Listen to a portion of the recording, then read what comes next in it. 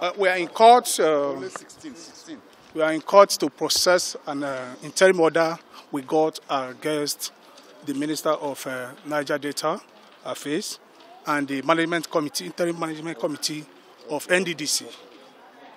Our client has approached the Federal Court asking, among others, for an order for the leave, to grant us the leave for judicial review of the appointment of the interim committee, which, in our own opinion, run foul to the law established in NDDC.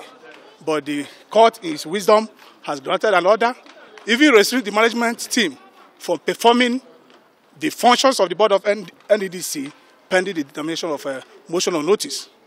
And uh, we have been processing the order. We've got the order, as you can see it here.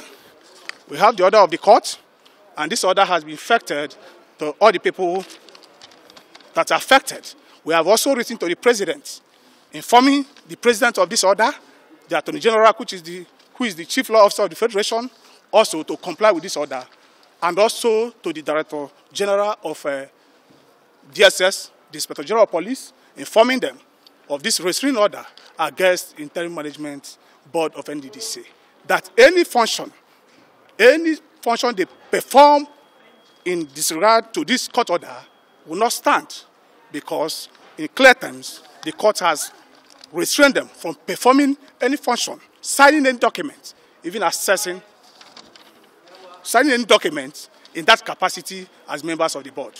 And that's why we say it is necessary for us to also bring to the public domain. We have served them, as you can see. We have copies of our letters. We have served the presidency. We have served the NDDC. We have served the Attorney General, Inspector General of Police, and the Secretary to the Government of the Federation. And we won, or we advise that in obedience, Nigeria being a democracy, uh, run a democracy, we advise that they should obey this order by refrain, refraining from signing or performing any function of NDDC. We also, in our letter, inform the president to appoint the most senior civil servants to take the position or to take the duty and the management of NDDC, pending the de determination of the motion on notice, presently pending before the Federal High Court, or the constitution of the proper board in line with the law. That's why. Yeah, on what grounds did you come to court to, to get this order? We have two grounds.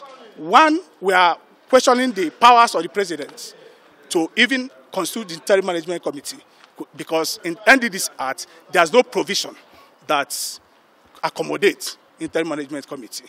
The law is very clear on who and who, and the modernity and the procedure for constitution of uh, board of NDDC.